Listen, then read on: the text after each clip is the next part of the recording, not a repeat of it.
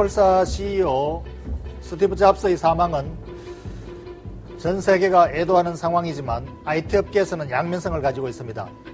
스티브 잡스는 애플의 모바일 인터넷 혁신을 통한 엄청난 가치 창조자였습니다. 그래서 애플사에는 모바일 인터넷 업계에서는 가치 창조자의 죽음이었고 반면에 구가치 구가치주인 구 IT 업계에서는 가치 파괴자의 죽음이 되었습니다. 그만큼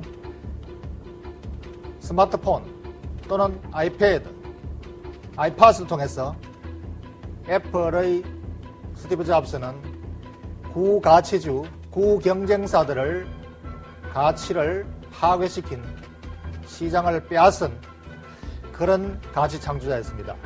그렇기 때문에 애플에서는 슬픔이지만 경쟁사들에게는 굿뉴스가 됩니다. 삼성전자가 가장 강력한 애플의 경쟁사였기에 스티브 잡스의 사망은 삼성전자에게도 매우 좋은 굿뉴스가 됐습니다. 가혹하게도 상대방의 불행인 나의 행복은 주식시장에서는 어쩔 수 없는 엄연한 현실입니다. 아이팟, 아이패드, 아이폰을 통해서 스티브 잡스는 경쟁사 10년 전에 아이팟을 만들어서 그 전 세계 음악을 지배하고 있던 워크맨을 파괴시켰습니다. 워크맨은 시장 점유율을 절대 다수 압도적으로 차지하고 있는 구가치 음악 플랫폼이었습니다만은 아이팟의 등장으로 시가총액이 절반으로 쪼그라들었습니다. 그 가치를 전부 다 애플이 다 빼앗아간 거죠. 그리고 스마트폰을 만들어서 경쟁사, 세계 시장을 지배하고 있던 모토로라, 노키아의 가치를 엄청나게 빼앗았습니다. 거의 사망 일보 직전까지 지금 몰고 가고 있었죠. 삼성전자까지도 삼성전자는 많이 뺏지 못하고 각축전을 벌이고 있습니다. 그만큼 삼성전자는 만만치가 않습니다. 그리고 아이패드를 만들어서 PC 시장을 다 잡아먹고 있습니다. 델 컴퓨터, 뭐 기존에 기타 등등 컴퓨터, 삼성 컴퓨터, LG 컴퓨터 이런 컴퓨터 상표에 관계없이 다 잡아먹습니다. 컴퓨터, PC는 이제 없어진다. 아이패드로 다 대신한다. 그만큼 애플의 가치 창조자였지만 경쟁사에게는 가치 파괴자였습니다. 구 가치를, 구 IT주를 가치를 다 파괴하는 그래서 이 천재의 죽음은 IT 업계로서는 어쩌면 반가운 일인지도 모르겠습니다.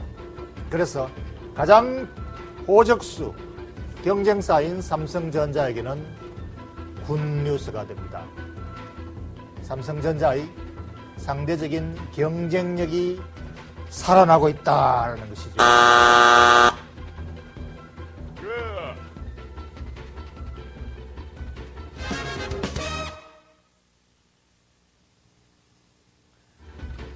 삼성전자가 오늘 실적 발표를 했군요.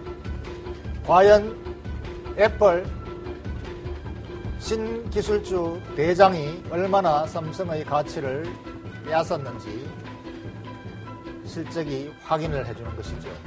그런데 오늘 삼성전자 실적은 다행스럽게도 애플이 별로 많이 빼앗아가지 못했음을 보여주었습니다. 삼성전자는 정말로 애플을 능가할 수 있는 실력을 갖추고 있다고 볼 수 있습니다. 만약에 애플의 CEO가 지금 없 는 상황에서 리더십이 부진한 상황에서 삼성전자가 조금만 힘을 발휘한다면 애플을 능가할 수도 있겠습니다. 삼성전자는 원래 3분기 매출이 1, 2% 별로 많이 늘진 않았습니다만 그래도 이 와중에 2% 늘었다는 것은 매우 중요한 것이죠. 시장이 그만큼 커졌다는 것이죠.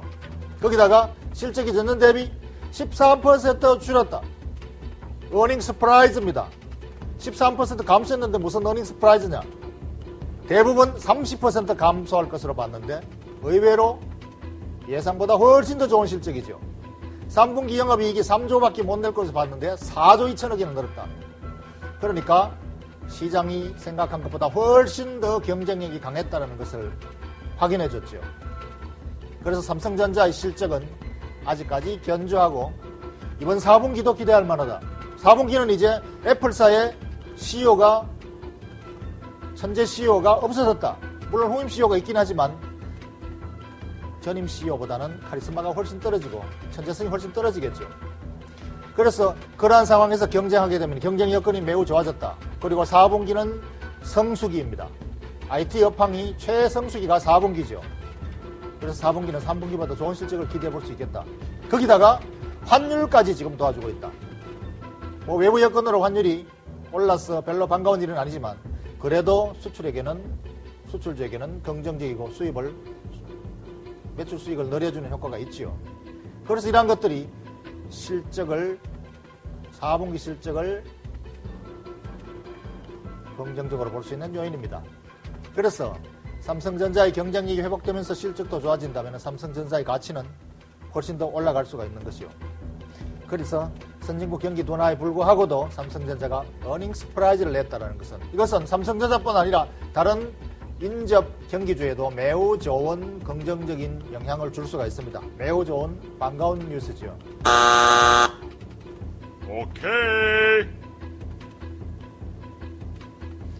삼성전자의 적정 가치를 얼마로 매겨야 될까요? 지금 주가가 그러면 과연 랠리를 지속할 만한 가치가 있는가? 지금 가격은 9월 달에 아마 이번 실적은 9월 달에 미리 정보가 많이 노출된 것 같습니다. 9월 달에 상당한 랠리를 펼쳐온 것이 바로 삼성전자의 실적이 미리 선반영을 어느 정도는 했다고 볼 수 있겠죠. 그렇다면 이미 선반영을 다 했는가? 추가로 반영할 것이 아직까지 갈 길이 먼가? valuation, 기업 가치 분석을 해봐야 되겠죠. 정권사 애널리스트 리포터들은 거의 이구동성으로 삼성전자는 100만 원 이상의 가치가 있다라고 평가하고 있습니다.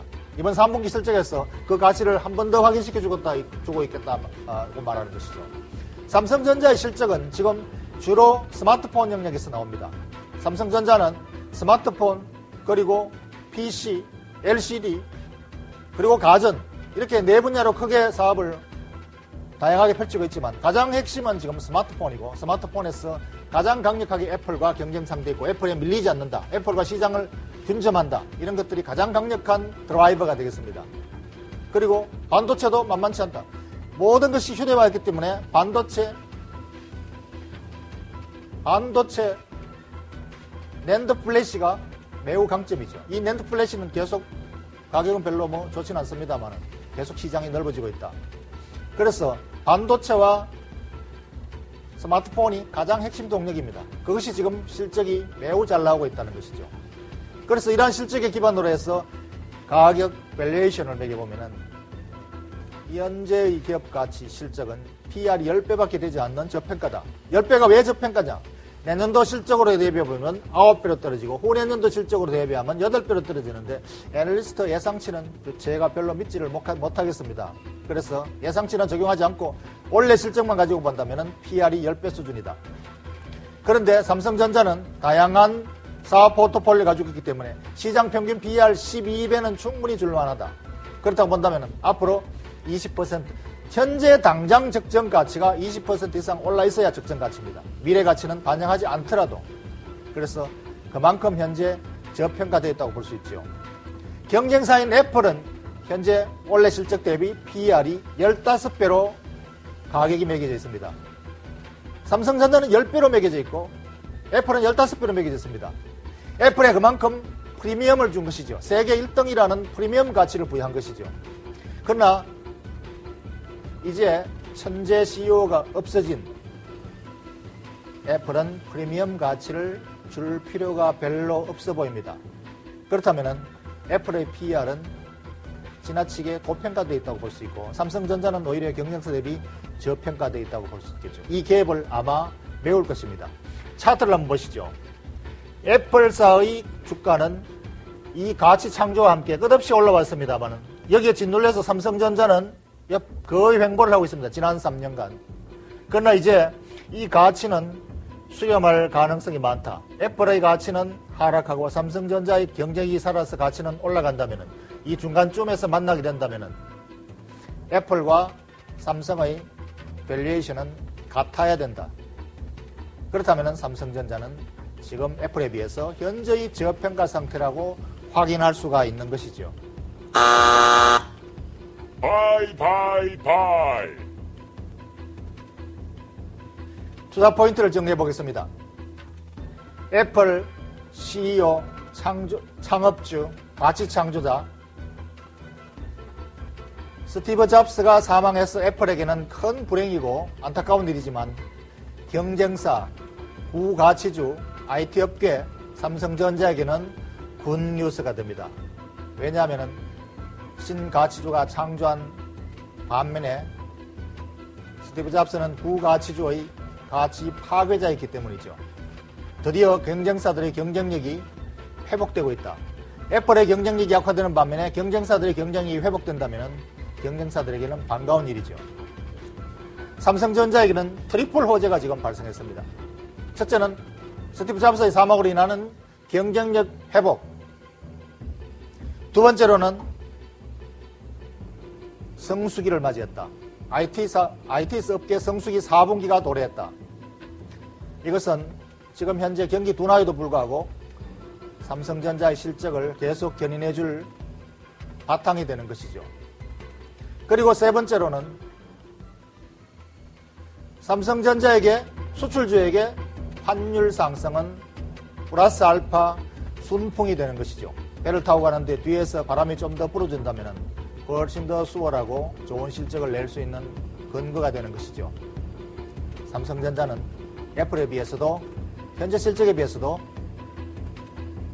현재의 저평가가 되어 있고 향후 실적 전망도 괜찮습니다.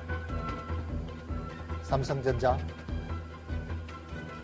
아직까지 갈 길이 멀다라고 평가하겠습니다.